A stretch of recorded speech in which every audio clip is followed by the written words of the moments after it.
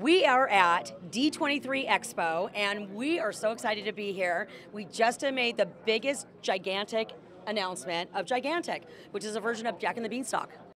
Yeah, you know, we're, we're looking to make the definitive version of Jack and the Beanstalk. So how do you do that? Well, you need to take the original story, uh, the iconic imagery of that, but you're going to have to put a lot of twists and turns within that. So today, we gave out a little bit of a sneak peek of what some of those twists and turns are.